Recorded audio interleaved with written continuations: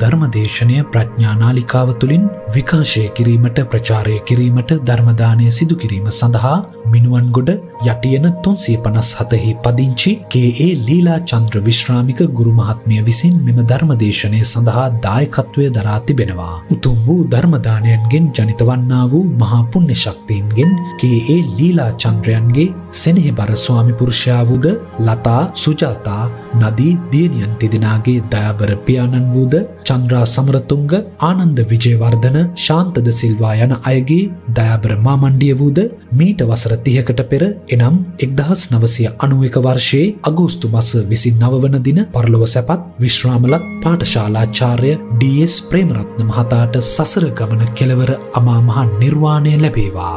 දෙපාර්ශවයම පරලොව සැපත් දෙමාපියන්ට සහෝදර සහෝදරියන්ට මේ පින් අනුමෝදන් වේවා.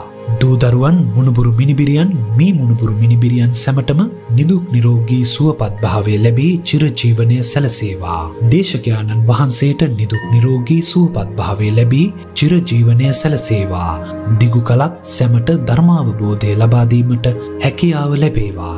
රට දෑවෙනුවෙන් දිවිපිදූ සැමට මේ පින් අනුමෝදන් වේවා. කොරෝනා රෝගෙන් පෙළෙන සැමට නිදුක් නිරෝගී සුවපත් භාවය ලැබී චිරජීවනය සැලසේවා. ධර්මශ්‍රවණය කළ සැමට ධර්මාවබෝධය ලැබී සසරදුකින් අත්මිදීමට මේ ධර්මදේශනාව උපකාරී වේවා කියා බලාපොරොත්තු වෙනවා එසේම වේවා කියා ආශිර්වාද කරනවා. නමෝතස්ස භගවෙත්තෝ අරහතෝ සම්මා සම්බුද්ධස්ස නමෝතස්ස භගවෙතෝ වරහතෝ සම්මා සම්බුද්ධස්ස නමෝතස්ස භගවෙතෝ වරහතෝ සම්මා සම්බුද්ධස්ස යස්ස ගතින්න ජානංති දේවා ගන්ධබ්බමානුසා අරහත්කී නාසවං අරහතං තම් අහං රෝමි බ්‍රාහ්මනෝති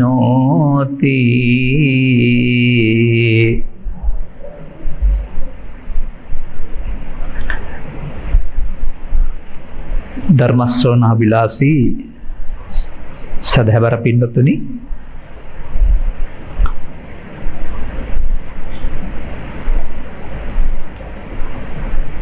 කුද්දකනිකායෙහි පවතින වාසෙට්ට සූත්‍රයෙහි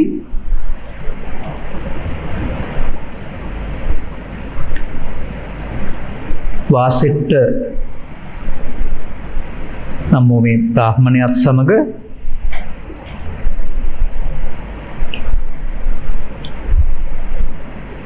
ඇති වුණ දිගූ සාකච්ඡාවක් තිබෙන බුදුරජාණන් වහන්සේ. ඔබහන්සට විවේක තියෙනවා නම්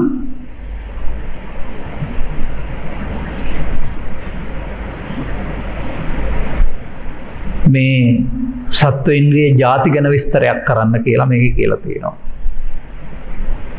එතින් තමයි ගස්වලට අදාළ වෙන වෙනම ජාති තියෙනවා සත්තුන්ට අදාළ වෙනම ජාති තියෙනවා කියලා එම ගොඩාක් විස්තරයක් කරන්නේ. ඒ විස්තරේ තමයි පෙන්වන්නේ දැන් ඒගොල්ලෝ බ්‍රාහ්මණ වශයෙන් හිතාන හිටපු අයනේ.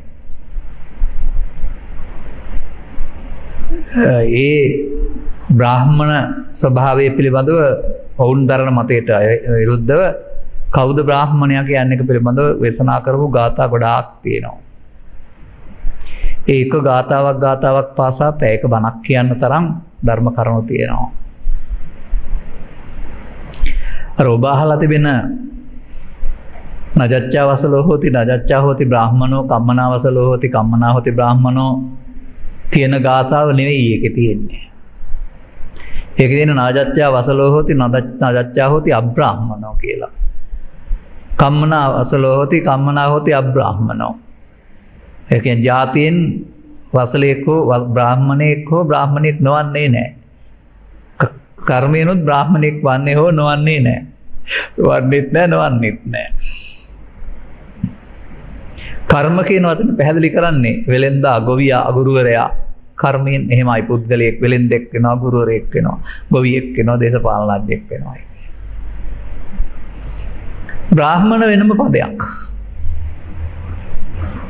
මම වැඩිපුර විස්තර ගන්නේ නෑ. ඔය ගත්ත ගාථාව යස්ස ගතින් නජානන්ති දේවා ගන්ධබ්බ මානුසා.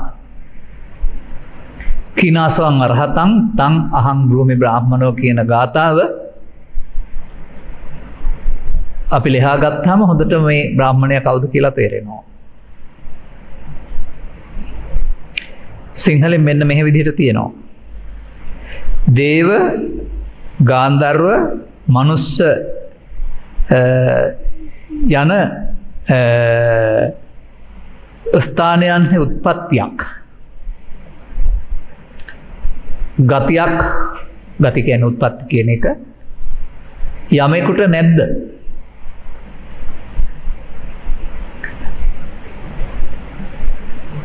කීනාසෝ අරහන්ත අරහතා ආශ්‍රව නැත්නම් සතර උපදින්න හේතු නැති කළා වූ ඒ රහතන් වහන්සේට මම බ්‍රාහ්මණයායයි කියමේ. ඔන්න බුදුරජාණන් වහන්සේගේ බ්‍රාහ්මණ සමාජයේ. මේකේ ගොඩාක් දේවල් තියෙනවා. එක එක ගාථාව එක එක දේවල් තියෙනවා. ඒකට බණ 20ක් විතර 30ක් විතර මට කියන්න වෙයි ඒක. දැන් මේ යස්ස ගතින් නජානන්ති දේවා ගන්ධබ්බ මානුසා කියන පද ටික හොයාගත්තාම හරියනවා. එවන් ඒ ඒවා මොනවද කියලා හොයාගන්නකො. දැන් අපි ජීවත් වෙලා ඉඳලා සාමාන්‍ය සමාජයේ කෙනෙක් විදිහට හිටියොත්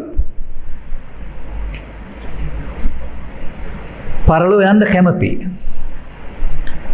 පැකව කැමති විතරක් නෙවෙයි පරලෝ යන්න වෙනවා.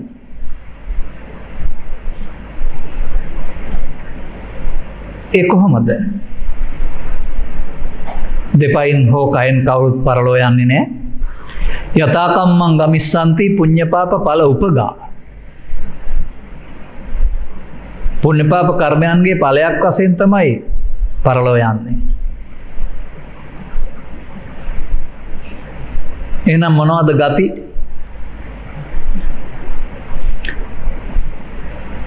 ගති කියන එකේ තේරුම ඒ ඒ තැන් සුගති දුගති දුගති අපාය පැත්ත සුගති මනුස්ස ලෝකයේ සහ කාම සුගතිය පැත්ත මේ සූ මේ ගාථාවේ අර නික්ලේශී නෙවෙයි කෙලෙස් සහිතව ලෞකික ධානයන්ගෙන් ලබන උත්පත්තිය පිළිබඳව කතා කරලා නැහැ. ඔහුට ඒක අදාළ වෙලා නැහැ.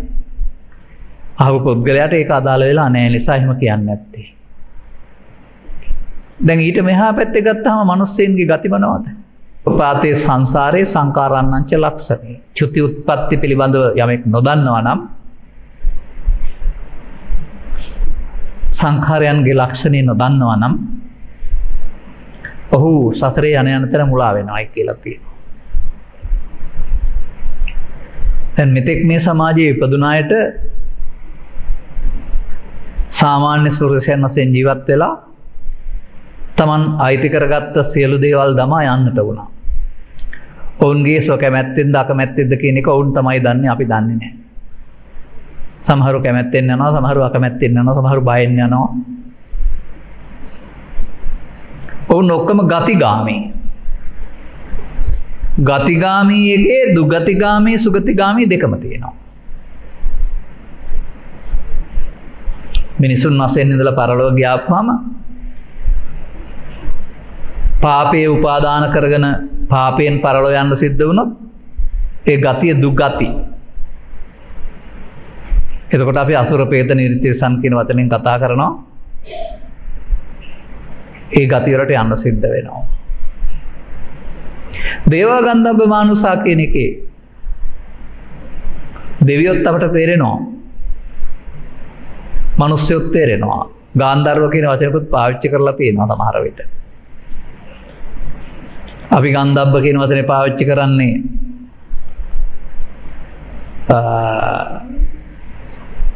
මරණින් එහා පැත්තට ඊළඟ ජීවිතයක් ලබනතුරු ගත කරන ආත්මය කියන වචනේ පාවිච්චි කරන්න. නමුත් එහෙම ආත්මයක් පවතින්නේ නැහැ. එතන උත්පත්තියක් පවතින්නේ. ඒක උපපාදික ප්‍රතිසන්දියක්. දුගතිත් නොවන මවකුසක ප්‍රතිසන්ධිත් නොලැබූ අවස්ථාවක් ඒක පෙන්න්නන්නේ. එතකොට මිනිස්සුන්ට තමන් මේ ගත කරන කාලය තුළ චිත්තාභ්‍යන්තරයට එක්රැස් කරගන්නාව මේ ගති ලක්ෂණ ටික නිසා ඒ ගතියේ තමයි අනාගත ඵලය පිහිටලා තියෙන්නේ. එතකොට මනුස්සයින්ට හරියන්නේ යස්ස ගතින් ඥානන්ති නජානන්ති නෙමේ. ඔවුන්ට කිසියම් ගතියක් හිමි වෙනවා. ඇයි අපි සාමාන්‍ය සමාජය දන්නෙ පවකරපම අපායනවා පින්කර පාදවියන් අදරපදිනවා කියන්න දරුණා ඊට හාට එක තේරෙන්නේ නෑ. නමුත් එක ඇත්ත සිද්ධිය කයක් පාවිච්චි කර මේ කටයුතු කිරීමේදී සිතෙහි ලැගුම් ගන්නවා අනාගත ඵල උපදින්න හේතු. අපට මේ විඳපු දේවල් පිළිබඳ ආසාවක් ඇල්මක් තවදුරටත් ඕනකමක් තිබෙනවා නම් ඒවා අතහරින්න කැමති නෑ තව තියෙනවට කැමති. එවිට අපි අලුතෙන් වචනයක් ගන්නවා මිනිසුන් ජීවත් වෙන්න ගිහින් කරන කටයුතු වලදී පව් හේතු චිත්තාභ්‍යන්තරයේ ශේෂ වෙනවා හැවත් උපාදාන වෙනවා. පෘථග්ජන පුද්ගලයෙක් යහපත් දේවල් කරන්න ගියාපුහම රින් හේතු චිත්තාභ්‍යන්තරයේ හේතු ඉතුරු වෙනවා උපාදාන වෙනවා. එතකොට තවත් සූත්‍ර දේශනාවක් ගත්තොත් බුදුරජාණන් වහන්සේ ඔය මේ සූත් මේ ගියා ගාථාවට අනුව දුගතිගාමී පැත්තේ තරම් විවරණය කරන්නේ නැහැ. මිනිසාගේ අනාගතය අඩු දානය අඩු සීලය මධ්‍යම දානය මධ්‍යම සීලය ඉහළ දාන ඉහළ සීලය අනුව ජීවිතෙන් එහා පැත්තට ගතිය තීරණය වෙනවා. අන්න ඒ තමයි යස්ස ගතින් ජානන්ති.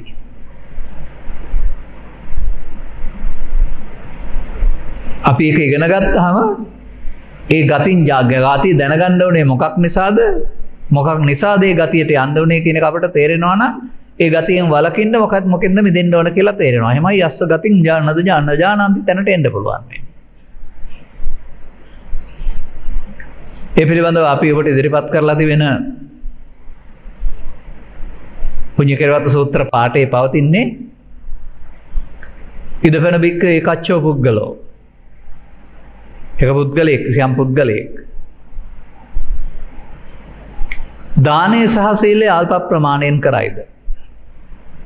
දානමේ පුං්ඥකරේවත්තුම් පරිත්තං කතන් ගොති සීලමේ පුං්ඥකරවත්තුම් පරිත්තං කතොක් මතිකත අල්ප ප්‍රමාණයෙන් කියන්නේ මත්තසෝ කතන් හෝති කියන්නේ මධ්‍යම ප්‍රමාණයෙන් කරනවාද. අධිමත්තන් කතන් හෝතිව ඉහලින්ම කරනවාද.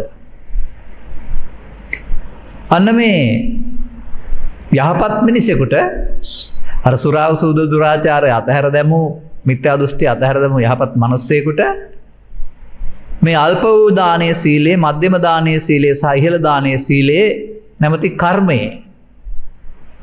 විපාකයක් වශයෙන් තමයි කායස්ස බේදෝ කයිබිඳී බිඳුවර මරණය සිදුවන මරණයෙන් පසු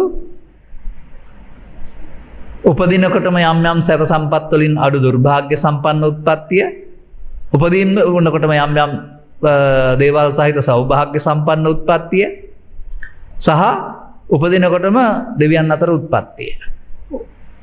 ඔන්න එතකොට මිනිස්සෙකු විසින් කරන ලද ක්‍රියාකලාපයන් තුළ ගති තීරණය වෙච්ච හැටි. යස්ස ගතින් ජානන්ති දේවා ගන්ධබ්බ මානුසාහිතකොට. අල්පදානය අල්පසීනය මධ්‍යමදානය මධ්‍යම සීලය මානුසා. ඉහළම දානය ඉහළ සීලය දේවා. ඔය අතර තමයි දේවාත්පති ඕපපාතිකයි මනුස්ස කලකයක් සහිතයි දේවත් නොවන මනුස්සත් නොවන තවත් මවකුසකට උත්පත්ති ලබන්න බලාගෙන ඉන්න කයක් හම නෝන ඕපපාතික ප්‍රතිසන්ධයක් ගන්ධබ්බ කියන වදන පාවිච්චි කරලා තියෙනවා ගන්ධබ්බෝ පච්චි පට්ටිතෝ හෝති කියන වතනින් පෙන්න්නන්නෙත් ඒක තමයි. ඒකත් ගතියක්නේ ඒක උපදින්න තැනක් නැතුව එහෙම නෙවෙයි. අපි හිතන් ඉන්නේ මේ මරණයටපත් වුණා දැන් උපදින්න තැනක් නැතුව එල්ලි එල්ලි ඉන්නවා පාවේ ඉන්නවා අවුලෙක් වවුලෙක් වගේ කියලා. නෑ. ඔබට තේරෙනවා නම් මෙතන සිදුවෙන්නේ ස්කන්ධ පංචකෙන් පංචකට මරණය කියලා ඒ දැන් මරණයම තමයි එතනින් එහා පැත්තට සිද්ධ වෙන්නේ උපපාතික ඉන්න තාක්කල්. මොහොතින් මොහොතම ස්කන්ධ පංචකේ මරණය. නමුත් ඒක උපපාතික ප්‍රතිසම්පියක්.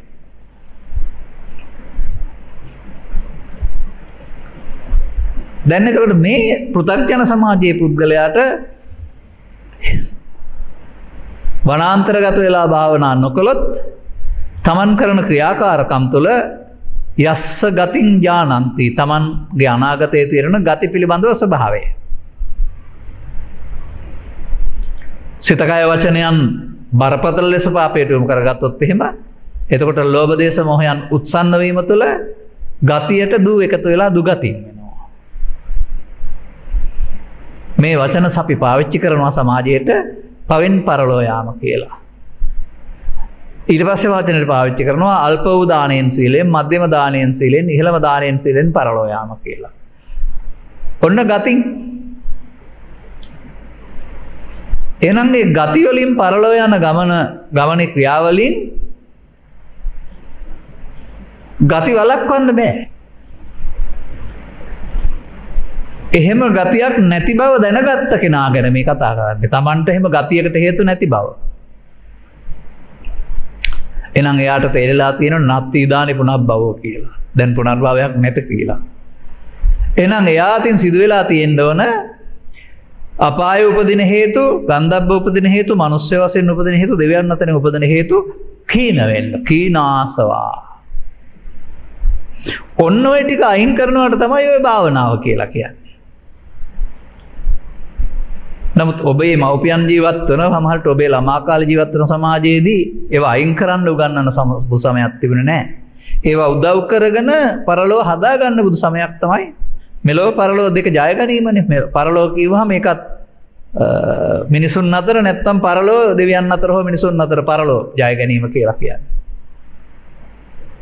මට අහ වෙලා තියෙන සමහර සූත්‍රවල සඳහන් ගාථාවලට අනුව පරලෝ කියන්නේ තවත් තර පරලෝ යහපත කියන්නේ තවත් උත්පත්තියක් ලැබීම නෙවෙයි. ජීවිතයෙන් එහා පැත්තට යනකට යන්න කෙනෙක් නැත්තම් තමයි පරලෝ යහපත කියලා තියෙන්නේ. යන්න කෙනෙකුත් නෑ යාමකුත් නෑ. ඒ තමයි පරලෝ හොඳම යහපත. එහෙනම් අපිට අපිව තේරුම් ගැනීමේදී කොහොමද මේ ජීවිතයක් අතහැරෙනකොට ඉදිරි ඵලයක් ලැබෙන්නේ? ඒක අපි තේරුම් ගන්න වෙනවා. ඒක අපි දන්නවා කර්ම රැස් කරන නිසා. එතකොට කෙනෙක් අහන්න පුළුවන් එහෙනම් පින්කම් කරන්න එපාද කියලා. නෑ එහෙම කියන්නේ නෑ. මේ ලෝකේ බුදුන් වහන්සේ යහපත් කිසිදු ක්‍රියාකාරකමක් නවත්තන්න කියලා හැම වදාරලා නෑ. උන්වහන්සේ වදාරන්නේ දුරාචාරය නවත්තන්න කියලා විතරයි. නමුත් පෘථග්ජන පුද්ගලයාගේ දුරාචාරය තුළ සසරට බැඳීම තියෙනවා. සම්මත සදාචාරය තුළ සසරට බැඳීම තියෙනවා. තියා මේ මේ ගාථාවට සඳහන් නොවනාට භාවනාව තුළ සසරට බැඳීම තියෙනවා. අර අතකල මතාන යෝගීන්ගේ භාවනාව සසරට බැඳීමක් තියෙනවා. එතකොට එනම් මේ කීනාසවා අරහන්තා කියන තැනට පත්වෙන්ට අර ගතිවලට හේතු නැති වෙන්න ඕන. අර අස්ස ගතින් නජානන්ති කියන්නේ දන්නේ නැහැ කියන එක නෙමෙයි. ඔහුට එහෙම ගතියක් නැද්ද? යම්කිසි ගතියක් නැද්ද? දැන් මේකට තමයි සමාජය කියන්නේ පුනර්භවය නැති කිරීම කියලා. පුනර්භවය නැති කිරීම කියන එකෙන් ඔබ හිතනවා නම් ජීවිතෙන් එහා පැත්තට පුනර්භවය ඒක නැති කරන්න ඕන කියලා එහෙනම් ඒක ආයෙත් බලන්නේ කයත් තුලින්. නමුත් ඔබට තේරුම් ගන්න පුළුවන්ද සිතවිලි වල පුනර්භවය? අද තරහ වුණා හෙට දකින්නකොට උපදිනවා පුනර්භවය. උගුලක් අදින්නංකෝ කියලා හිතුවා හෙට හෝ අවුරුදු 5කින් දකින්නකොට උපදිනවා. අන්න ඒ ඒ පුනර්භවය වෙන්නේ කොහොමද? පුනර්භවය කියන්නේ නැවත වීම. මං හොඳ උගුලක් අගින්නංකෝ මම හොඳ අංචියක් අදින්නංකෝ කියලා හිතුවේ නැත්නම් පුනර්භවය වෙන්නේ නැහැ. එන මේ සංසාර ගමනේදී පෘථග්ජන සමාජය කවදාවත් සසර ඉවර කරන්න පුරුදු වෙච්ච අය නෑ. ඔවුන් හැම විටම තමන් ජීවත් වෙන පරිසරය තුළ පවෙන් හරි පිනෙන් හරි අල්ප පිනෙන් හරි මධ්‍යම පිනෙන් හරි සසර හදණ්ඩයි පුරුදු වෙලා තියෙන්නේ.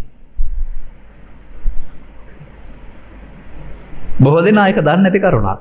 මේ අපි අපි මේ සතර හදන්නේ කියන. මම ඔය පසුගිය ධර්ම දේශනාවලදී උදාහරණයක් ඉදිරිපත් කරමින් කිව්වා පියවරක් ඉදිරියට තැබුවේ නැත්නම් ගමනක් යන්නේ නැහැ.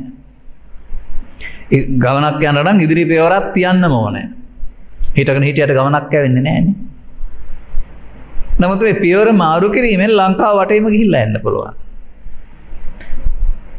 තව පාලමක් වගේ තියෙනවා නම් ලෝකෙ වටේත් ගිහින් එන්න පුළුවන්. ඔබට තේරෙනවද මේ පියවර තැබීම කියන වචනයෙන් ඔස්සේ මම පෙන්වන්න හදන්නේ පව් සිද්ධ වීම පින් සිද්ධ වීම ධාන කුසල් සිද්ධ වීමක් මෙතන අතාරිමු කියලා කියන්නේ සසරට පියවරක් තියෙන එක.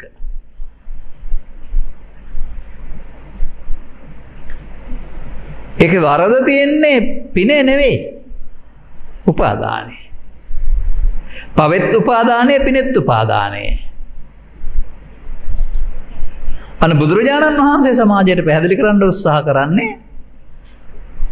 තමන් ජීවත්වෙන්න ගෙහෙන් කියරණ කරන කියන කාරණාවලදී තමන් අතින් සිදුවෙන්න උපාදානය නම් වූ වරද නිසා තමයි සසරකට හැදෙන්නේ සතරකට බැඳෙන්නේ කියන එක. සසරක් හැදෙනවට සසරකට බැඳෙනවට සංයෝජන කියලා කියනවා. දැන් මේක ජීවිතයට එක සැරේද සිදුවෙනව ඇත්තේ. දවල්ට එක සැරේයි රැට එක සැරේද සිදුවෙනව ඇත්තේ. එහෙම බලන්න බෑ අපට ඒක. ඒක බලන්න පුළුවන් විදිය තමයි අපි මේ වැඩේ කරන්නේ මොහොතින් මොහොත. අපි මේ වැඩේ කරන්නේ අරවණෙන් අරමුණ. අපි මේ වැඩේ කරන්නේ ඇසෙන් කලින් නාසයෙන් දිවෙන් කයෙන් හෝ සිතින් කියන එකකින්. ඒක අපි කරමින් ඉන්න බව කරලා තියෙන බව අපට තේරෙන්න ඕන. එහෙනම් අපට වාසිට සූත්‍රය සඳහන් බ්‍රාහ්මණයෙක් බවට පත් වෙන්න ඒ පාරේ නෑ පාරක් නෑ. මොකද යස්ස ගතින් ඥානන්ති ගති තියෙනවනේ අපට. බ්‍රාහ්මන් ගේව දේවා ගන්ධබ්බ මානුසා. යහපත් මිනිස් වශයෙන් හිටියොත් නරක මනුස්ස වශයෙන් හිටියොත් අපායත්‍යයි නැත්තම් අර කියන ගති තියෙනවා. දැන් මේක ප්‍රාර්ථනා කරන්න ඕනෙත් නැහැ ඉල්ලන්න ඕනෙත් නැහැ. ස්වභාවයෙන්ම අපි මේ සිත ක්‍රියාත්මක වෙන ආකාරයෙන් මේක හැදෙනවා. ගතිගාමී අපි. එහෙනම් ගති නිවාරණය කරන්න ගති වළක්වන්න තමයි බුදුරජාණන් වහන්සේ සමාජයට ධර්ම දේශනා කරන්නේ. සසර හදන්න නෙමෙයි සසර නවත්තන්න. දැන් ඔබත් මමත් ඉතුණු සමාජයේ අනාගතයේ සසර නවත්තන්න එතෙක් සසර හදන්න තමයි අපිට ඉගැන්වෙන්නේ. ඇයි නවත්තන හැටි කියලා දෙන්න දන්නේ නැති නිසා. මේ නවත්තන්න පුද්ගලයෙක් වශයෙන් පන්සිල් තුල අටසිල් තුල උපසම්පදා සිල් තුල පුද්ගලයෙක් වශයෙන් බෑ නවත්තන්න. මොකද මේක ජීවිතය අවසානයේ සිදුවෙන මරණයක් නෙමෙයි ඇසෙන් කනෙන් නාසෙන් දිවෙන් කයෙන් මොහොතක් පාසා සිදුවෙන මරණයක්. ඒ මරණයේදීමයි අපි සසරට බැඳෙන්නේ ඒ මරණයේදීමයි සසරෙන් මිදෙන්න ඕන. එහෙනම් මේ කීනාසවාරහතා කියන කෙනා මොනවද කරනව ඇත්තේ? එතුමන් ඒ වගේ පුද්ගලයෙකුගේ ගුණ ගැන නෙමෙයි අපි මේ කතා කරන්නේ. ඒ වගේ தත්ත්වයටපත් වෙන්න අපි මොකද කරන්න ඕන? එතකොට අපට තේරෙනවා අපි ඉගෙන ගත්ත බුදු සමය තුළ දන්නේ අපි කර්ම රැස් කරන කර්ම ගැන විතරයි. එක නරක එක දන්නවා එක හොඳ නෑ කරන දන්නවා නමුත් හොඳ නෑකිවට එකත් කරෙනවා හොඳ එක කරෙනවා. එනම් අපි බෞද්ධ වනාට ආර්ය සම්මාධිට්්‍යයට නොපැමිණි දසවස්තක සම්මාධිට්්‍යය ඉන්න වූ කර්මය සරණ කරගන බව ගමන හදනාය. ඒ ඇයි ඒ නිමා කිරීම සඳහා අදාළ බුද්ධ වචනය කරුත් අපට පටහ ගන්න බැරි වුණා පටහගත්ත නැතුව අන්ගමනය කරන්න බෑ. අන මේ වෙනස්කම පිළිබඳව තේරුම් ගැනීමට තමයි ධර්මස්වනය තියන්නේ. එවිට අපි එකට කෙන සුත්තමය ඥානය. ඒ ගැන කරුණු පැහැදිලි කරන කෙනෙකුට සවන්දීලා සුත්තමය ඇහීමෙන් ඥානය හරි ප්‍රඥාව හරි කරගත්තට කමක් නෑ. එතනින් ඉවර නෑ. ඇවය මට මතකයි තරුණ කාලය ගෙදරකට ගිහින් බණ ඇහුවම බණ ඇහුවා ආගෙන හිටියා ගෙදරාවා. ආය තව දෙයක් කරන්න තියෙනවා කියලා දන්නෙත් නෑ මතක තියාගත්තා තව පස්සෙ පස්සේ දවසෙකට මතක නැතුව යනවා. ආයෙත් තව බණක් අහන්න වෙනවා. එවිදි අපට අපි වෙනුවෙන් යමක් කරනවා කරන්න තියෙනවා කියන එක පිළිබඳව අවබෝධයක් අර ඇස් දෙක පිටට හරවාගෙන විසාගෝතමය ගැන පටාචාරා ගැන බුදු හාමුදුරුව ගැන කතා කරන බණහනායට තේරෙන්නේ. අපේ ගතිය හැදෙන හැටි අපේ ගතිය වලක්වන හැටි එහෙම බල බණහලා තේරුම් ගන්න බෑ. අන්න අපිට අපි පිළිබඳව ගැනීමේදී මෙතන මේ මොහොත සසරට බැඳෙන්නේ කොහොමද? නොබෙද ඉන්නේ කොහොමද? බැඳෙන්නෙත් අපි අතින්මයි නොබෙද ඉන්නත් ඕන අපි අතින් හරි.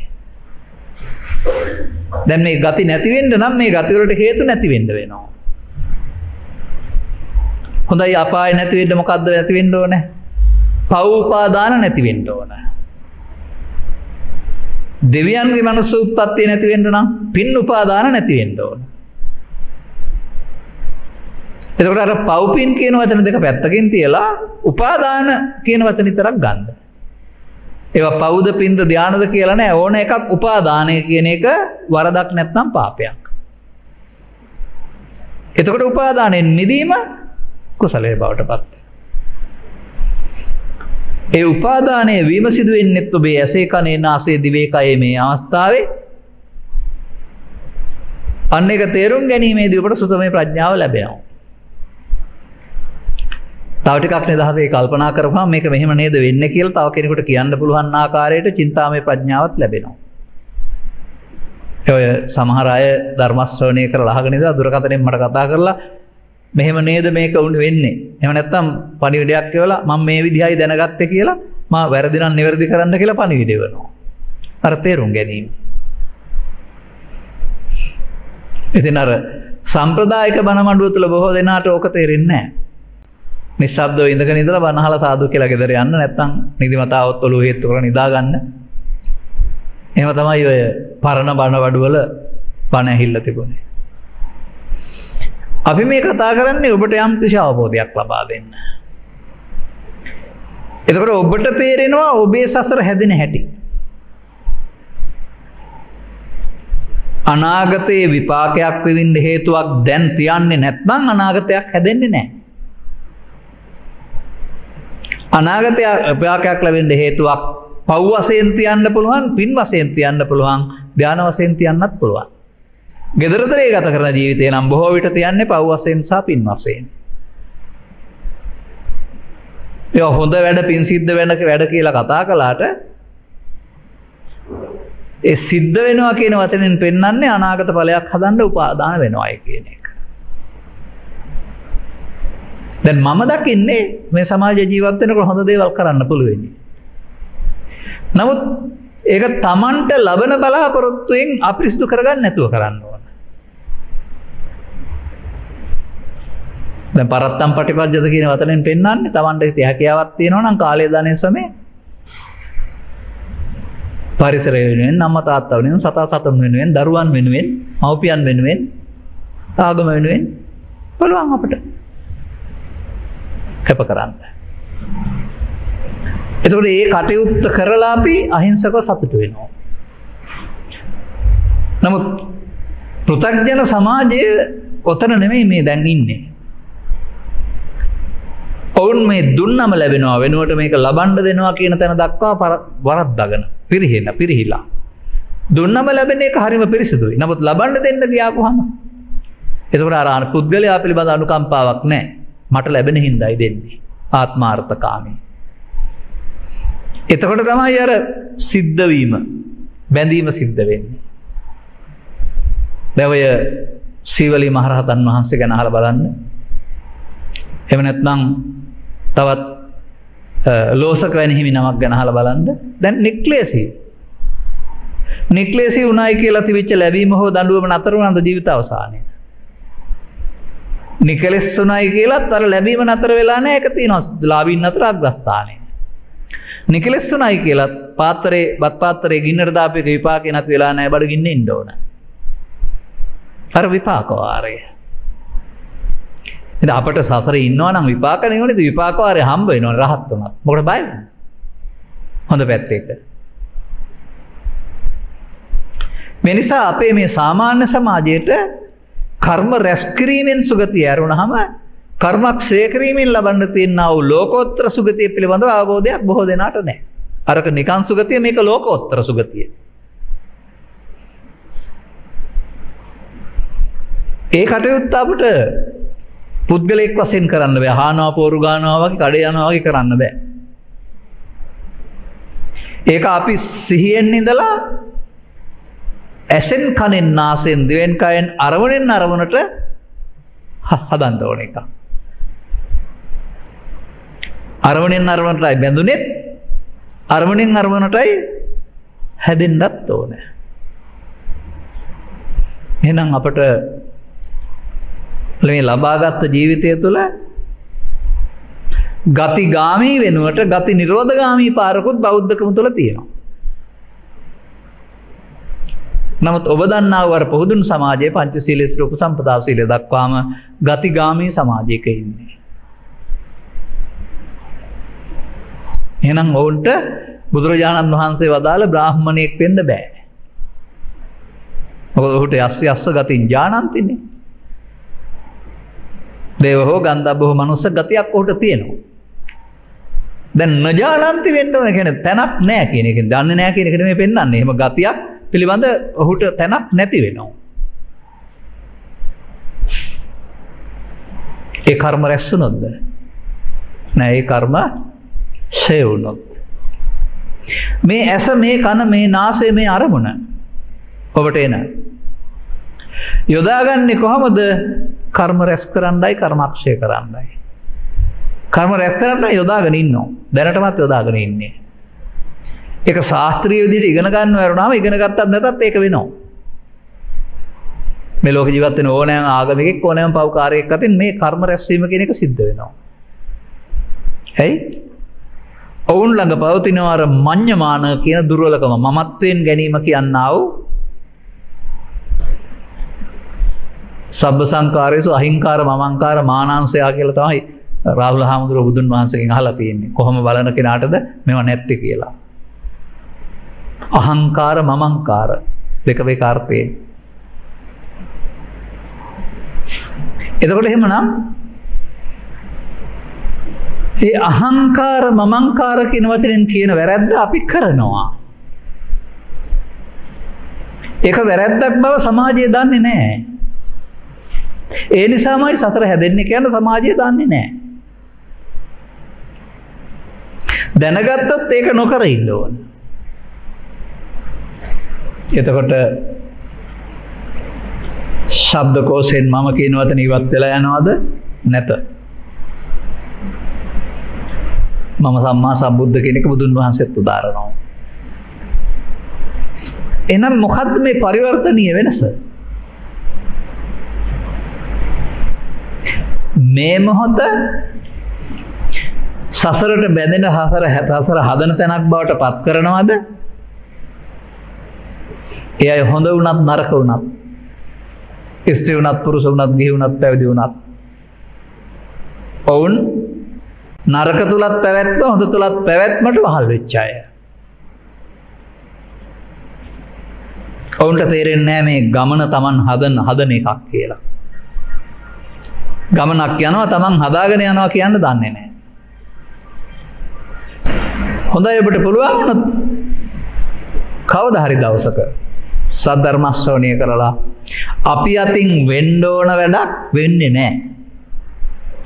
බුදුරජාණන් වහන්සේ අපට යෝජනා කරනවා ඔබ මේ මොහොත අප්‍රමාද විහාරී වෙන්න කියලා. නමුත් ධර්මයේ තේරෙන්නේ නැති තාක්කල් අපි පමාද විහාරී. මම දකින්නේ බුදුරජාණන් වහන්සේ ඉගැන්වීම් වල මේ දෙක විතරයි. යමෙක් පමාද විහාරීද අපමාද විහාරීද. ඒ පමාද විහාරී පුද්ගලයට තමා ගතින් ජානන්ති දේවා ගන්ධ ප්‍රමාණසා ගතිවලට යන්න වෙන්නේ ඒ අර ඒකට අදාළ ප්‍රමාදයට අහු වෙලා ඉන්න නිසා. ප්‍රමාද විහාරී බවම අප්‍රමාද විහාරී බවට පත් කරගන්නට මොකක්ද අපි අලුතෙන් මේ හිතට දෙන්න ඕන යෝජනාව. ඔය හිතට පුංචි කාලෙදා දීලා තියෙනවනේ වැඩක්. ඒ දීපු නිසා තමයි හිත එහෙම කරන්න හිතවිලි අරන් තියෙනවා. බැන්නොත් බනින්න ඕන ගැහුවොත් ගහන්න ඕන කියලා හිත පිළි අරන් තියෙනවා. එතකොට මේ මෙතනම මේ අපේ දැන් මේ ක්‍රියාත්මක වෙන සිත තුළම තමයි මේ අපි අතින් නොදැන සිදුවෙන වරදයි හදාගන්නයි ඕන. අපි බොහෝ කල් යෝජනා කරනවා සිතට පාඩුව පාඩුවක් වසයෙන් බාරගන්න ලාබය ලාභයක් වසයෙන් බාරගන්න නින්දාව නින්දාක් වසයෙන් බාරගන්න ප්‍රසංසා ප්‍රසංසාවක් වසයෙන් බාරගන ප්‍රතික්‍රියා දක්වන්න නිකං ඉන්න එපා. ඒකොප හිතට යෝජනා කරලා තියෙන දෙයක්. ඒ නිසාම ෂණයකින් ගැහුවොත් ගහන්ඩ බැන්නත් බනින්ට හිතෙනවා. ඒ යෝජනාව ඉල්ලා අස්කර ගණ්ඩ ඕන දැන්. මොකද මේ සම්මන්ති කියලා කියන සංසිදනවා කියන එකන. සම්මන්ති සිද්ධ වෙන්නේ අවේරේනච්ච නොකිරීමෙන් අක්කෝ දේන ඔොද නොකිරීමෙන් මේ මොහොද කරන්නේ කොහොමද නොකරන්නේ කොහොමද.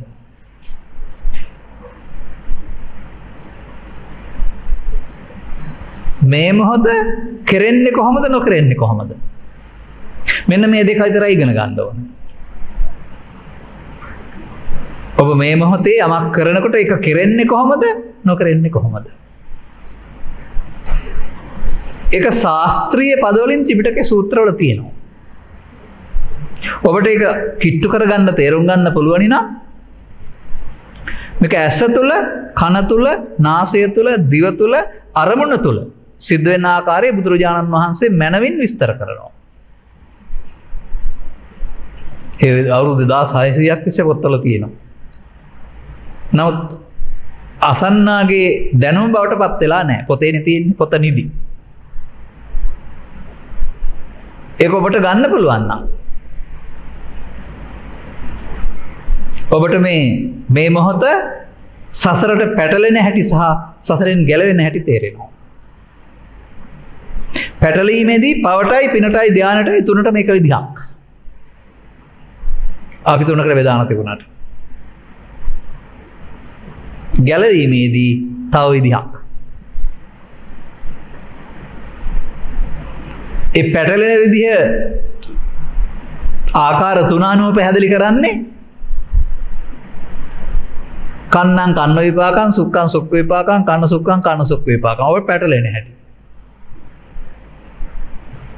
ඒ පැටලෙන මොහොතම පැටලෙන් නැතුව ඉන්න. බුදුරජාණන් වහන්සේ ස්වකී ශ්‍රාවකයාට භික්ෂු භික්ෂණ උපාසක පාසිකා කියන අයට ආර්ය භාවයක් ලබා දීලා මෙහෙම කරන්න කියලා කියලා දෙනවා. ඒ මොහොත කර්ම රැස් කිරීම වෙනුවට කර්මශය කරන මොහොත බවට පත් කරගන්න. අන්න අලුතින් ඔබ කරන්න ඕන යෝජනාව හිතට.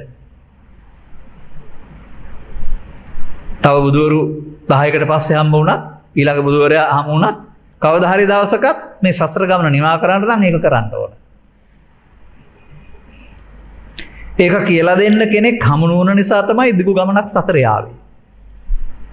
ඉදිරියටත් කියලා දෙන්න කෙනෙක් නැත්තම් විවිධාගම්වල ජාතිවල රටවල උපදෙමින් ඔය කර්ම එකක් රැස් කරමින් ජීවිතෙන් එහා පැත්තට සදාකාලික සර්ගයක් හරි නිර්යක් හරි අපායක් හරි දිවි ලෝකයක් හරි බ්‍රහ්ම ලෝකයක් හරි තියෙක ඉතින් සසර හදන්න පුළුවන්. හැදිලා ගියන් පස්සේ එහෙ කියලා දෙන්න කෙනෙක් නැහැ. ඒක ගෙවලා ආයෙ මෙහෙම එන්න වෙනවා. අපි හිතන් ඉන්නවා එහෙ කියලා දෙන්න කෙනෙක් ඉන්නවයි කියලා. නෑ එහෙ ගියොත් ඒ රැස් කරගත් එක ගෙවලා ආයෙ සැරයක් ඕක අහන්න මෙහාට වෙන්න වෙනවා. ඒ නිසායි මිනිසත් බව ලැබ බුද්ධෝත්පාදයක සදහම් අහන කන ඊටා වටිනා වෙන්නේ ලෝකේ ඉන්න මිනිසුන් අතර. ඒ කනට තමයි මේක නිමාව. නිමාව පෘථග්ජනයන්ට කරදරයක් හිරිහරයක් එක එපා කියනවා. නමුත් තේරුම් ගත්තැන් පස්සේ නිමාව අසීමිත සැනසීමක්. එනන්ගේ නිමාවට මොකක්ද කරන්න ඕන. අර අර වචන දෙන කීන ආසව. කීන ආසව. අර ජාති ගති ගති හට ගණ්ඩ තියෙන හේතු සීන කරන්න හින කරන්න වෙනවා. මේක නේද ඔබෝය පුංචි කාලෙ කිවපු ජාතක කතා චරිත කතාවල පෙන්න්නන්නේ සියලු කෙලෙසු නපාරහත්තියකි. මේක නේද බොය වචනයක් වසේ නිගන තින ආසවක්වය ඥානය කියලා. කෙලෙස් නැෆෙන නුවන්න. එනම් මේ මොහොතමයි කෙලෙස් බරිත වෙලා සසරට බැඳෙන්නෙත් මේ මොහොතෙමයි කෙලෙස් නසා ගන්නත් පුළුවන් වෙන්නේ. බරිත වෙලා සසරට බැඳෙන්ට බුදු හාමුදුරුවෝ නැත් නෑ අපමාද විහාරියෝ නැත් නෑ. ඕනෑම හොඳ නරක ඕනෑම ජරා වැඩක් ඔස්සේ එක සිද්ධ වෙනවා. එක මාරයාගේ බලපත්තරය. මිනිසා සසරට බඳවා තබාගන්න එක මාරය ලබාගත්ත බලපත්තරය.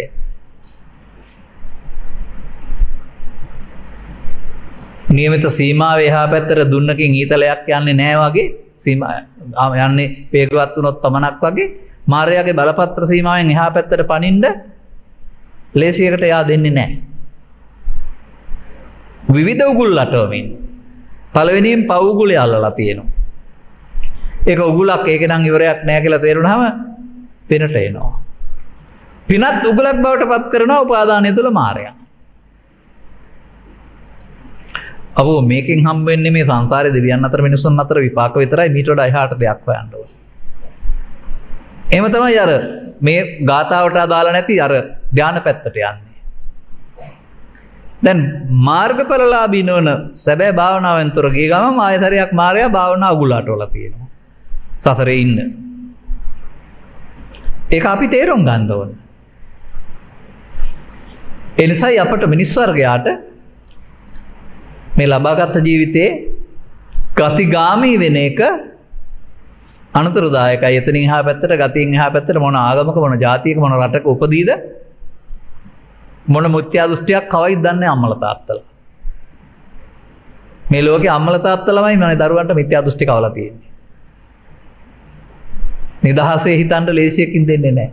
ස්වභාවයෙන්ම උපන් දරුවෝ බන්ධවනවා ආගමකට ආගමක ආගම මතවලට ආගමට නෙමෙයි මම පෙන්නන්නේ ආගමික ආගමික මතවලට බන්ධනවා ඒවා ඉහ මුද්‍රින් විශ්වාස කරනවා අයිට පස්සේ. බෞද්ධත් එකයි බෞද්ධත් එකයි නිදහස හිතන්නේ නැහැ. නමුත් බුදුරජාණන් වහන්සේ නිදහසේ හිතන්ඩ දීලා තියෙන. නිදහස් චින්තනය කියන වතන කර කතා කරම කාලාම සූත්‍රයේ චින්ත නිදහ තියෙනවා කළම කියන්න කත්ති. ඒ ඔබ මේ මොහොත සසර හදන තැනක් බවට පත් කරගන්නවාද සසරෙන් මිදන තැනක් බවට පත් කරගන්නවාද. හදන තැනක් බවට පත් කරන්න මොනම සිහියක්වත් මොනම අවබෝධයක්වත් ඕන ඕන දෙයක් කරලා පුළුවන්. හැබැයි මෙදන තරම් බවට පත් කරගන්න බොජ්ජංග හරි සති හරි අප්‍රමාද හරි මොනව හරි අමුතු දෙයක් පුරුවෙන්ට ඕන. ගති නැතිවෙන්ට. ගති කොහොමද වෙනවා කියලා ධර්මය පෙළොලින් පෙනලා තිබෙන්නේ අන්තිම පදේ බව බවට මෙහා පැත්තේ උපාදාන උපාදාන පච්චයා බව. එක ජීවිතය තුළ බලන්න එපා ඇස තුළ කන තුළ නාසය තුළ අරමුණ තුළ බලන්න ඉගෙන ගන්න. උපාදාන පච්චා බවට ඉස්සල්ල තන්හා. තන්හා උපාදාන බව. උපාදානයට ඉස්සරලා වේදනා. වේදනා තන්හා උපාදාන බව. හැබැයි වේදනාය වරදක් නෑ. වේදනාව කියන්නේ රිදෙනවා නෙමෙයි විඳිනවා. මේ ලෝකේ අපි විඳින්න ඕන. අම්මා දැක්කම තාත්තා දැක්කම බුදුන් වහන්සේ දැක්කම දරුවෙක් දැක්කම වේදනාවේ වරදක් නැහැ. වේදනාව මම කියලා බුදුන් වහන්සේ වදාරන්නේ නැහැ. නමුත් තණ්හා වුණාම වේදනාවක් මම වෙනවා. වේදනා පච්චා තණ්හානේ. අන්න භවය හදන හැටි තමයි වේදනා පච්චා තණ්හා කියලා පෙන්වන්නේ බුදුහාමුදුරුවෝ. වේදනාව ප්‍රත්‍ය වෙනවා තණ්හාවට. කොහෙද මේ ඇසේ කනේ නාසේ දිවේ කයේ ඕන තැනක. තණ්හා වුණත් අර කියන සසරට බැඳෙන උපාදාන කියන වැරැද්ද සිද්ධ වෙනවා. උපාදාන වුණොත් අර සසර හදනවා හෙවත් බව. භවනම් භවපච්චා ජාති භව නිරෝධ කරන්නේ නිබ්බාන. මේ භවපච්චා ජාති භව නිරෝධ කරන්නේ කොහොමද? ඔන්න අපිට කරන්න තියෙන වැඩේ පවරන බුදුන් වහන්සේ පවරන වැඩේ. ඒක තේරුම් ගත්තේ නැතුව කාලය ගත කරන්න පුළුවන් මොන මොනවා හරි කරලා. අවසානයේ එක්රැස් කරගත්තා වූ කර්මයකින් පරලෝ යන්නත් පුළුවන්. නමුත් භව නිරෝධෝ නිබ්බානන්ති කියන පාලි පදේ මට ත්‍රිපිටකේ හම්බ වෙලා තියෙනවා. නිවන කියන්නේ භව නිරෝධයට. එහෙනම් නිරෝධ නිකන් වෙන්නේ නැහැ නිරෝධ කරන්න ඕනේ. අර පස්සේ ගන්න තියලා අවසන් කරන එක නිරෝධය කියන්නේ නැහැ. පස්සේ ගන්න තියන්නේ නැතුව අවසන් කරන්න පුළුවන් නම්. එතකොට මේක මේ අපි ළඟ සිදුවෙනව ඇත්තේ කොහොම කියලාද හිතන්නේ ඔබ? මට තේරෙන්නේ මෙහෙමයි. අපි කිසියම් ස්කන්ධ පංචයකට ඇලී ගැටී මුලා වී අවසන් කළොත් ඒක අවසන් වෙන්නේ බව ගාමී වෙනවා. ඒක සසර හදන පාර. ඒක තමයි පමාද විහාරය කියන පදයෙන් පෙන්වන්නේ. අනේ බුදුරජාණන් වහන්සේ සොකී ශ්‍රාවකින්ට මේ කාරණේ පෙන්නලා දැන් අපමාද විහාරී වෙන්න. දැන් මේ මේවායේ මොනවද ප්‍රධාන වශයෙන් තියෙන්නේ? මේ භවගාමී කාරණාවේ ලෝභ දේශ මොහ. ලෝභක්කේ දේශක්කේ මොහක්කේ. අර ෂේ මේ මොහොත ෂේ කරන්නේ කොහොමද?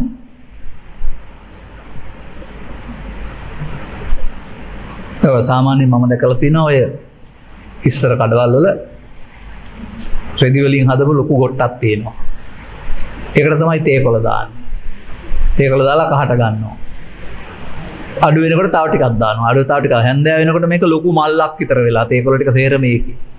දාන්න දාන්න පිරෙනවා. තේකොළ දාලා ඉවර කරන්න බෑනේ. හිස් කරන්න අනිත් පැත්ත හරවන්න හලන්න වෙනවා.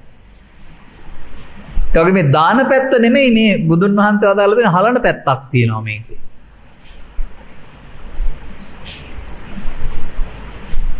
එකතු කරන එක අය ධම්ම ප්‍රතිපදාව වැය කරන එක වැය ධම්ම ප්‍රතිපදාව. වැය. උදේ ආව වැය උදේ වැය. උදේ අබ්බ කියලා කියන්නේ. එහෙනම් ඔබට හුරු වෙන්න ඕන නේද? සිතින්. ඔය දරුවන්ගේ කාලේ තිබුණ මට්ටමට නැතත් දරුවෝ නම් ওই ආගම ජාතිය කුලේ තරම් හිතට අරගත්තේ නැතුව සැහැල්ලුවෙන් හිටියා. අපට එහෙම ඉන්න බෑ ගැටෙනකොට අර ඇතුළ අතුලින් ඇවිදින් පොඩි තර්ජනයක් ගර්ධනයක් සිදු වෙන නිසා. දැන් මේ මොහොත කීන ආසවාව බවට පත් කරගන්න නම් මොකද වෙන්නේ අනාගත ඵලයක් උපදින්න නැතුව මේ අරමුණ මිය යන්න ඕන. ඔබ මේ යන්නේ අරමුණ හැබැයි මිය යනවා. කෙසේද? උපාදාන නොවි මිය යනවා.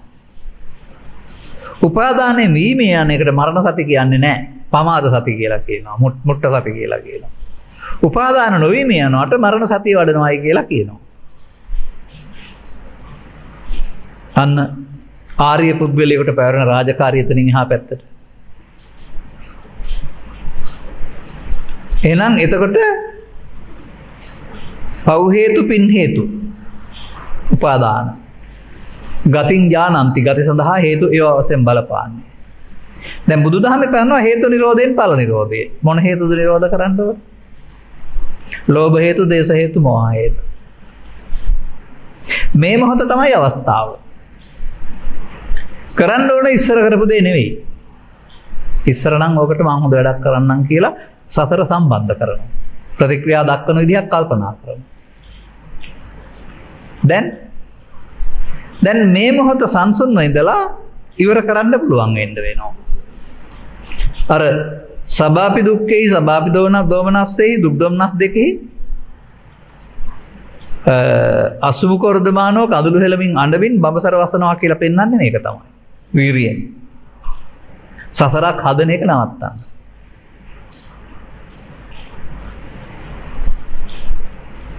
එහෙනම් හැම දිනාටම මට තේරෙන කරුණ තමයි ඔය විවිධ ಜಾති නෑ බුදුදහමේ. මේ ක්ලේශයන් ප්‍රහීන කිරීම සඳහා වෙනම මොනම කර්මස්ථානයක්වත් නැහැ. ආපු එක තමයි කර්මස්ථානය. බලෙන් ගන්න ඕන නෑ.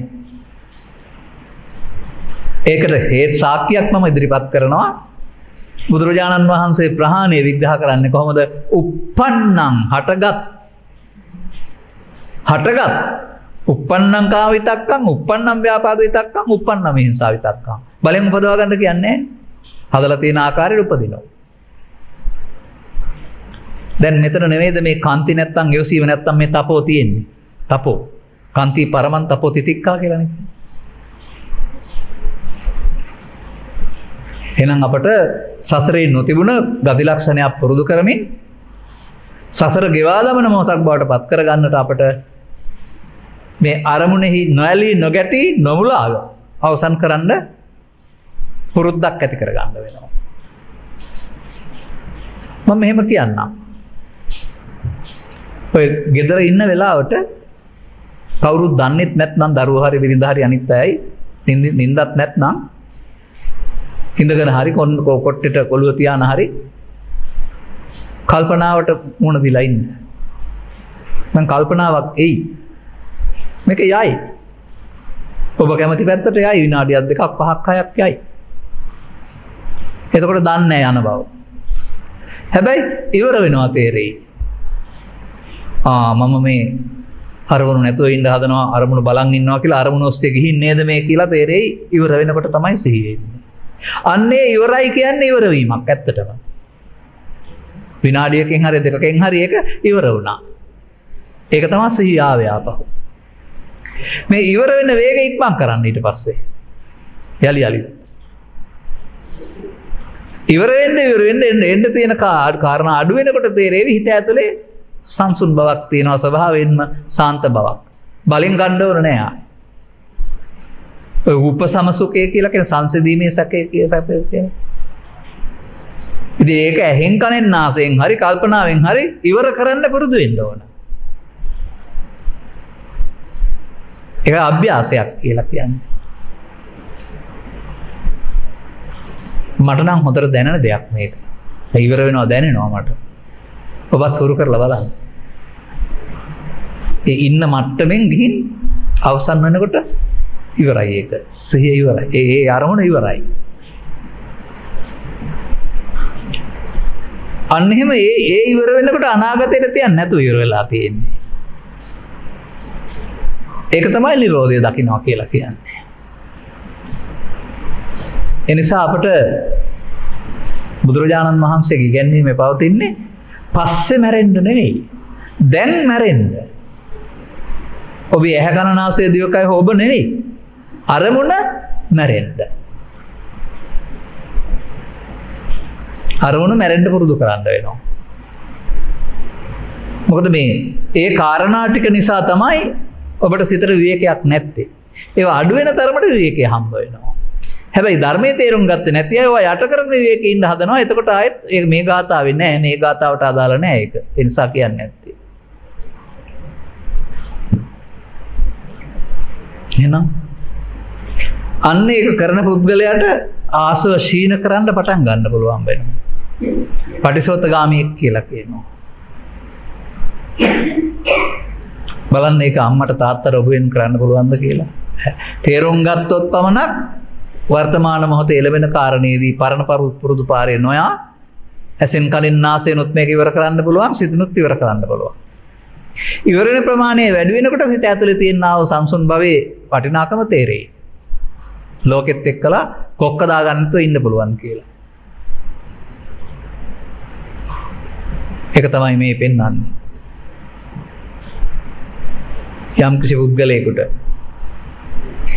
මේ දෙවියන් හෝ ගන්ධබ්බයින් හෝ මිනිසුන් අතර උපදින්නට හේතු නැද්ද නැති වෙනකොට තමයි නැති වෙන පාරට තමා කීනාසව කරගෙන යනවායි කියලා කියන්නේ මාර්ග කියලා කියන්නේ නැති ඉවර වෙනකොට තමයි අරහතා කියලා කියන්නේ. ඒ ටික තමයි අපි හොයලා කරගන්න. ඉන් එහා කතා කරන එකේ තේරුමක් නැහැ. මේ අනාර්ය ප්‍රතිපදාවේ අනන්ත සාසාරය සංසාරයක් ඇවිලත් ඇවිල්ලා තිනවා. දැන් ආර්ය ප්‍රතිපදාවේ ආරම්භය සහ අවසානය දක්වා කාලය තුල මොකද මම කරන්න ඕනේ? සසරෙන් ගැලවෙන්න මොකද මම කරන්න ඕනේ? අරමුණේ ඇලී ගැටී අවසන් කළොත් හේතු ඉතිරෙනවා නේද? එහෙනම් ආසෝස ඥානෙ නැහැ. අරමුණේ ඇලී ගැටී අවසන් නොකළොත් හේතු ඉතුරු නොවි අවසන් වෙනවා නේද? ඒක ආසවක්ඛේ ඥානය කියන්නේ ඒකට නේද? දැන් බලන්න ස්ත්‍රියට පුරුෂයාට ගිහියට පැවිද්දට කියලා තියෙනවද මේක ප්‍රතිපදාවේ වෙනසක්? ඕන කෙනෙකුට තේරුම් ගත්ත පුද්ගලයෙකුට ඔක්කොටම එකයි. ඒක තමයි මේ බුදුන් වහන්සේගේ ධර්ම විශේෂත්වය. අපිට මේ එක එක්කෙනා ඒක කර්මස්ථාන දීලා කෙලෙස් යටපත් කරන්න සමාධි වඩන්න ඉගෙනුවට ධර්මයේ ගත්තාම ඔය මොකක්වත් නෙමෙයි තියෙන්නේ. හැමෝටම ආසවක්ඛේ ඥානය ආසෝෂය වෙන හැටි. ෂේවෙන හැටි තේරුම් ගත්ත පුද්ගලයාට ෂේ කරගෙන යන පාර යන්න වෙනවා. එක්කලා යන්න කෙනෙක් නැහැ. එතන දක්වා බුදුරජාණන් වහන්සේ හෝ බුද්ධ පුත්‍රයෙක් හෝ ඔබේ පාර කියලා දෙමින් එක්කලා එනවා. එතකල් වැටෙන්න ඉඩ තියෙනවා. ආපහු යන්න ඉඩ තියෙනවා. නමුත් මේ අරමුණ අවසන් වෙනකොට තියෙන තැන සංසුන් නේද? ඒක නේද මේ ලෝකේ හැමදාම තියෙන්නේ? ඒක නේද ධර්මය කියන්නේ? ඒක නේද බුදුහාමුදුරුවෝ හොයාගත්තේ? ඒකට අසීමිතයි නේද? ඒක ඉන්නකොට මේ ලෝකෙත් එක්කලා ගැටුමක් නෑ නේද කියන ඉව වැටෙනවා.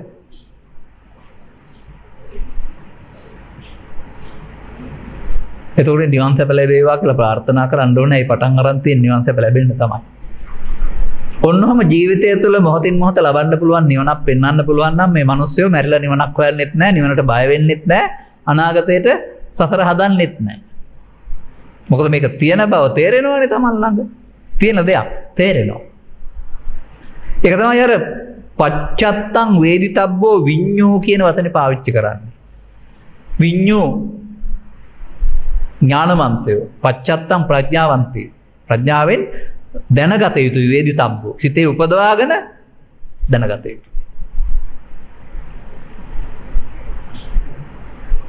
එතකොට එහෙනම් නිවන් ඇස් දෙකෙන් දකින්නවා නෙවෙයි.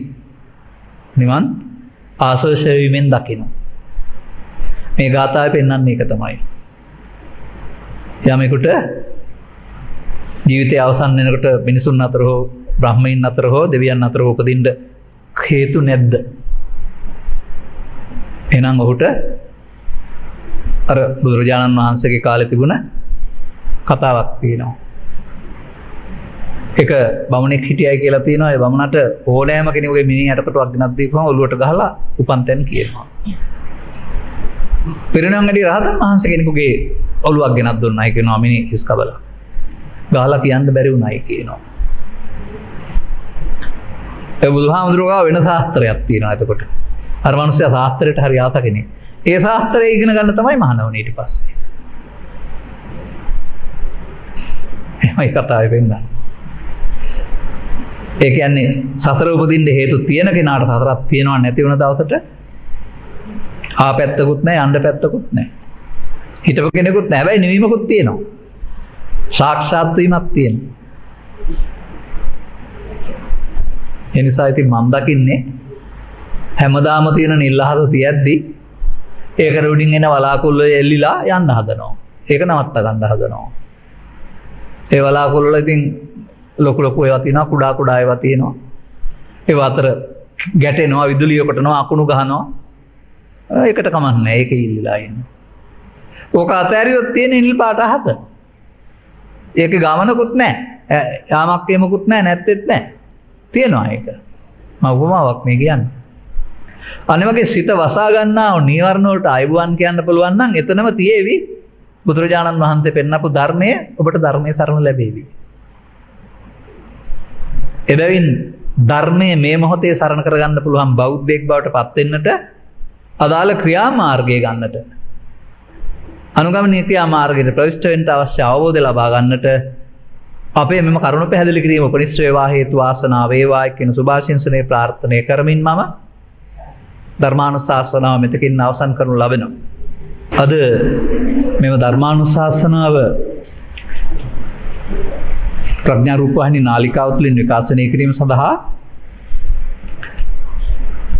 මිනුවන්ගොඩ යටියන පදිංචි.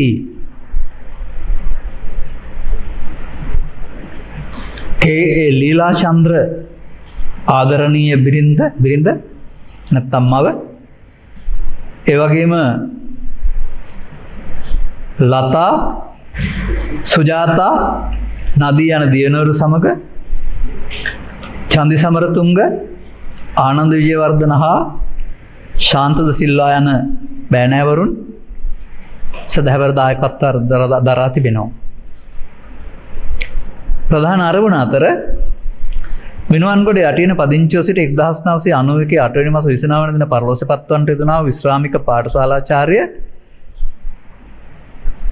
පියස් පේමරත්න දායබර සැමියාට පියාණන්ට මාමන්ඩිය ගෞරයෙන් සිහිපත් කරමින් තවදුරටත් ඥාතින්ගේ පින් බලාපොරොත්තු වාසය කරත්නම් පින් අනුමෝදන් කොට කිරීම සඳහාත් නැත්නම්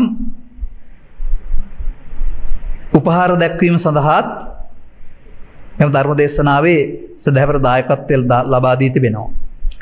දෙපාර්සේ පරලොස පත්තන්ට දෙනාව සියලු ඥාතින් සිහිපත් කර උපහාර දක්වන අතර අවශ්‍ය කෙනෙක් ඇත්තම් පින් අනුමෝදන් කර ගනිත්වා කියලා ප්‍රාර්ථනා කරන්නත් කල්පනා කරනවා. ධර්මනුබුරන්ගේ අනාගත යහපත් වේවා කියාද? අධ්‍යාපන කටයුතු සාර්ථක වේවා කියාද? රෝග පීඩාවක් සිදු නොවේවා කියාද? අනුකහ බෞතුන් හැම දෙනාටම සද්ධර්ම බෝධය පිණිස හේතු වාසනා වේවා කියාද? ප්‍රාර්ථනා කරනවා. කොරුණා වසංගතයට මින් ඉදිරියට සමාජයේ ගොදුරු නොවේ. උන්ට ආරක්ෂාව සැලසේවා කියලත් අවසානයෙන් ප්‍රාර්ථනා කරනවා.